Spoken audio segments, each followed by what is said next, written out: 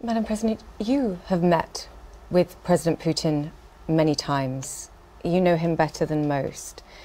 In your experience and what you've seen and history, do you believe he can be stopped? What do you see as the end game here? And is there a path to peace?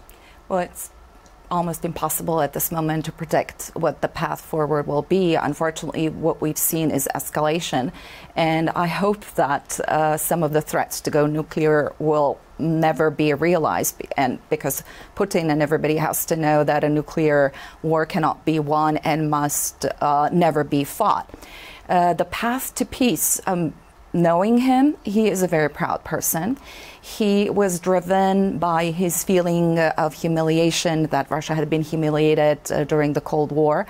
His uh, program was to restore Russia's standing in the world and Russia's economic political power, which now he has really jeopardized. He's, uh, Russia has become a junior partner to China. Uh, sanctions are having an effect. They are. Um, it's uh, not true to say that they're not. So he has weakened Russia. He has weakened uh, the Russian military machine. But he's also the kind of person who would never, ever admit defeat. As I said um, just a couple of days ago, I think that he would rather die than admit defeat.